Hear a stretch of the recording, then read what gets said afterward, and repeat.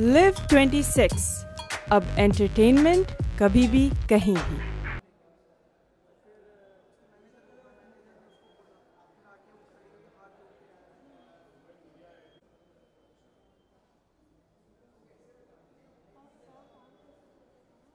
older than before. Let me introduce you to the guests for this love conference. Are you ready for that? Are you excited for who's coming?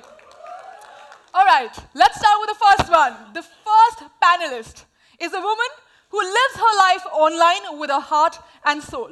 The one and only Malini Agarwal, founder of Miss Malini Entertainment and a social media ninja herself. Malini knows the pulse of today's Indian youth and is here to talk about how and what love means today on digital world. Please welcome Malini Agarwal.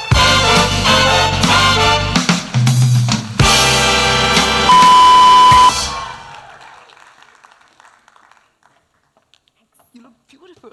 Thank you. All right, the second guest today, our next panelist is unfiltered. She's spontaneous and she is dynamic. Recently, she got married, and that was a national surprise. It was so much a surprise that when she put up her Instagram post saying that, hey, I'm married, she got 600 text messages on her phone saying, what the F, and not congratulations. Please welcome Neha Dhupia.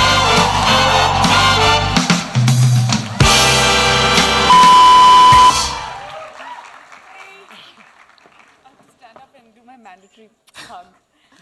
All right, are we ready for our next guest? Yes.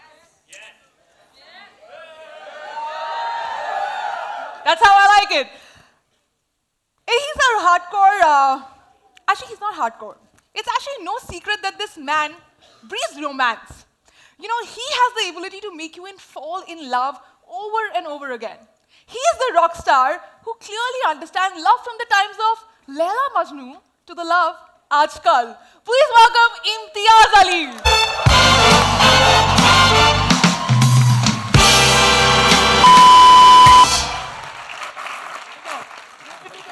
Hug like we haven't. Hi.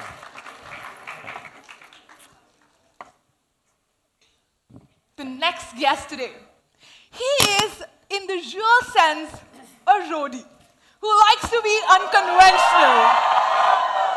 But his love story is rather a classic one. Now, did you guys know about that? He met his uh, wife at a friend's party. Flames ignited between these two sober party lovers, and then began their love saga. Welcome, Ranvijay.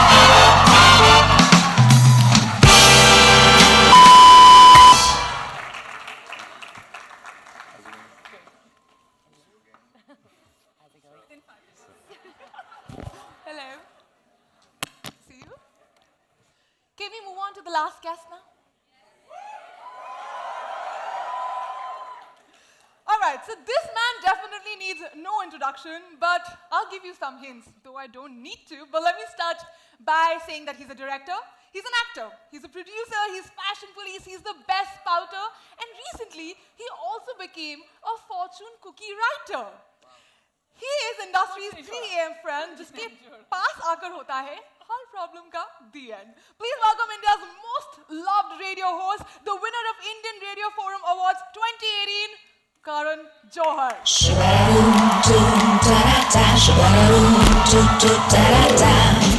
ये दिल है crazy और कुछ कुछ होता है ये दिल है मुश्किल जब जब गिर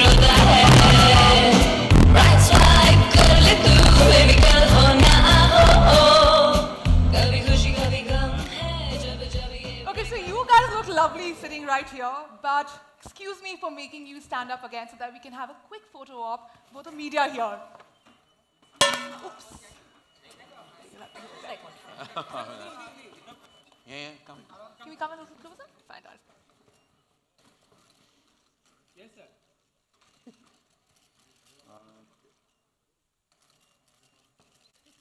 Like 500 of the same. Yeah. should do a calling thing. You should be like calling. Oh yeah, calling. You should be like.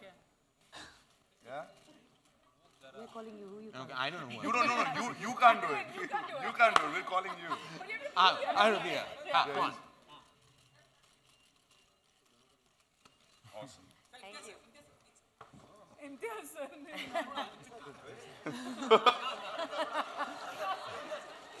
Guys, we'll have more opportunity. Fantastic. We, he will. Yes, yes. Okay. All right. All right. Fantastic. Let's do that.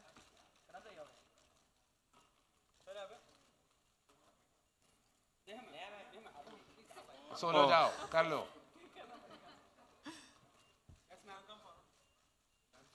Man, go forward.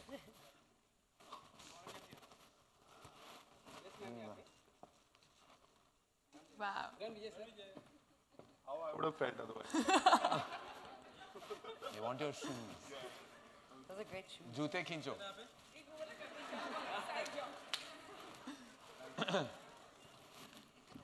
All right. Thank you so much, guys. Time to now begin the Love Conference. And can I please have Malini Agarwal to take over the session? Thank you so off. much. Thank you. You've been wonderful. I can't believe we're here on stage hosting a love conference. And I love it because they're two of my favorite things radio and love. So I'm really excited to be here to talk to all of you. And hopefully, you're going to tell me a few secrets, as uh, Karan has probably got some out of you in the past as well. So this is season two coming up of Calling Karan, which is very exciting because I think you've pretty much now covered the gamut of things to do in life, right? now this is like radio is like the next level and it's the theater of the mind really. So tell us a little bit about what made you do it. Um, what made me do radio? Uh, I just feel like I should do everything. Yeah. Uh, and I think I'm pretty available at most given points of time. Uh, being accessible and affable is part of my personality. And I just felt like radio would have a tremendous reach. And I do it for free anyway, giving people love advice. When you're single for that long in your life, you tend to kind of meet troubled couples all the time. Uh, husbands, wives, boyfriends, girlfriends, boyfriends and boyfriends, girlfriends and girlfriends. And I think that I invariably land up giving copious amounts of advice. So I thought, why not get paid for it? I love that. Can we give him a round of applause for that? Now, it's one thing to make movies about love, right? And it's another thing to experience love. But giving someone advice is a great responsibility. It is. Right? And in fact, we have a disclaimer right at the beginning that I'm not a professionally trained individual like a therapist or a psychiatrist or you know somebody. So my advice should be taken at just at that level, knowing that I may be uh, just giving you advice on a personal level, and I'm not authorized to give you that advice. Having said that, when I give the advice, I don't pretend like I'm not authorized because I give very, very sincere advice, and Yeah. I've broken a few relationships. Oh no, really? But it was meant to be. But do you ever give advice that came from your movies? Like there was a, a moment and do you ever reference them and say, is movie mein jaisa hua tha?" No, no, no. What, what we show in the movies is ridiculous. Are you mad? You can't, you can't, you can't, you can't, you can't possibly ruin people's life by giving those kind of situations. Uh, those are meant for like PVR. Uh, but uh, not for people like when you give legit advice, you have to kind of really get into the center of the situation and then, you know, be very, and I take it very seriously. I take every call very seriously. I really get into it. That's really important. And now we have a love conference, and today's love conference is an opportunity for everyone to actually get to know the people on the stage and really delve deep into their hearts. So, Neha, I want to know what is the worst piece of advice, of love advice that you were ever given from Karan or otherwise, From Karan. or in general? Uh, no, Karan, I, I have to say that uh, I, I remember calling Karan in season one and uh, asking him this question that uh, Karan, I have audio. Check, check, check, check, check. Audio. You gotta just uh, pull it up. No, it's fine now, I think. Can you hear me? Guys, can you hear me? Okay, great. Um, so I remember calling him in season one and asking him that uh, my question was that um, should I go with a hot guy or should I go with the intelligent guy? And Karan was like, what a stupid question, go with a hot guy. Yeah, what are you going to... And then what happened? Listen, it's intelligent to go with the hot guy. Okay.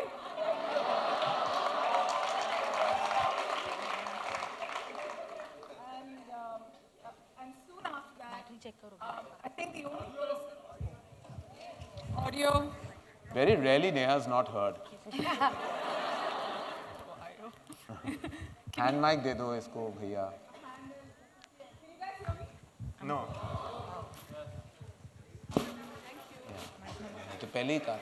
Now can you hear me? Oh yeah. sorry, sorry. Now Juhu can hear you. And then uh, when I was uh, about to get married, the only person I think who knew apart from my parents was Karan.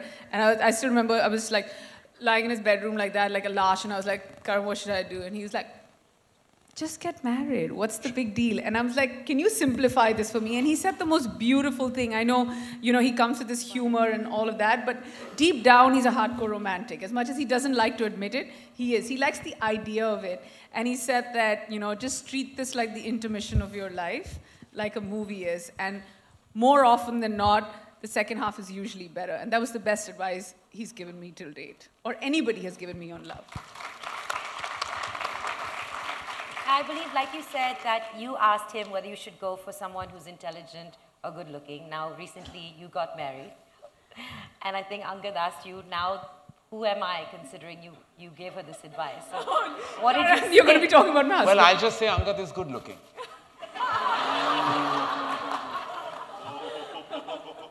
I mean, it wasn't an either or, but he is good looking. He is good looking.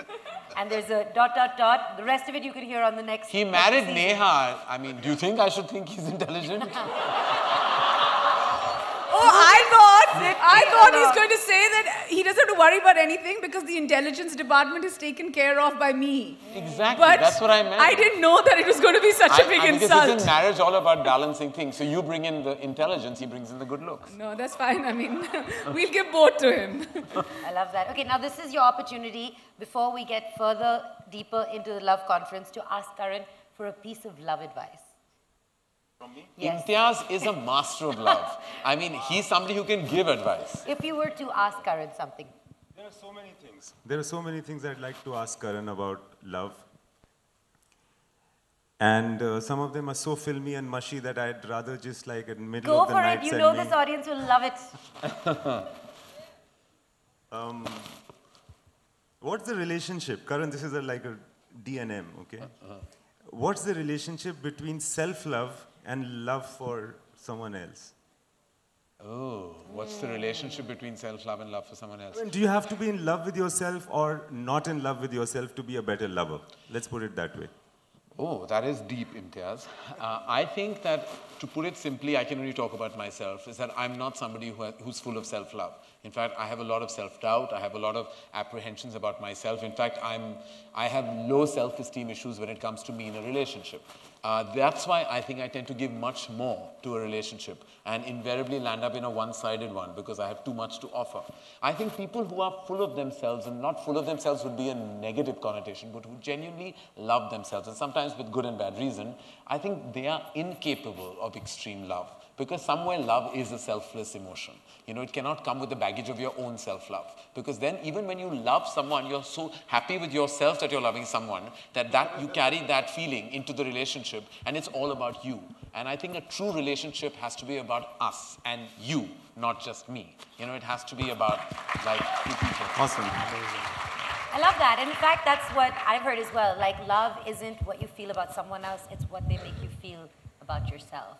And there are two differences, like loving yourself and being obsessive about yourself, therein also is a difference, you know. You could like yourself, love yourself is fine, but if you're obsessively like all about you, like if you're like deeply a megalomaniac or obsessive about yourself, it's very difficult for you to contribute into a relationship. Then you have to relationship. call Karan. Then you have to call me. yeah. I want to, I want to ask him another question. He just said that in the relationship that, um, in the marriage of Angad and Neha, he's the good looking one. Right. What are you saying about oh. Neha then? Well, there's a difference between good looking and super sexy, right? like he's good looking. at and she's super What a sexy. save. Yeah. Well, Neha has immense amount of sex appeal. I think that she does. She's tremendously hot, and from the time that I first met her to the time now, her intelligence is also a turn on. But also, I think her voice and her her, her curves that are invariably covered by tapestry.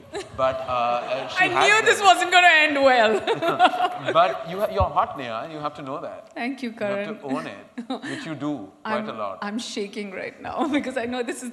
Are you done? I'm This done. is turning into What? a part show, huh, by the Yeah, way. I- That was a real compliment. Please, just just clap. Just clap. Well, I always ask Neha because she's so gorgeous and stunning why she wears like bed sheets always. Like, I, I want to know why she's always bed, bath, and beyond. She wants people to imagine stuff. Yeah, I suppose. Mm. Okay, we have to move on I to like Ranvijay that. now. So, As I cover up a little more. so So Ranvijay, your uh, Instagram is just adorable to follow. Now everyone would think of Ranvijay as this really macho, just like out there, roughing it out, but his Instagram is filled with the most adorable pictures of him and his wife. Yeah. And even their story, I think you met where none of both of you That's were not my drinking. wife posting for me, by the way. She's got your pass. I believe you met when you were both at a party and neither of you were drinking, and that's how you connected. Yep.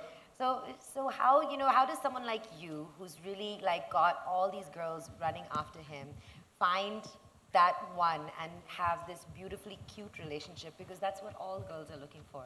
I'm from Punjab.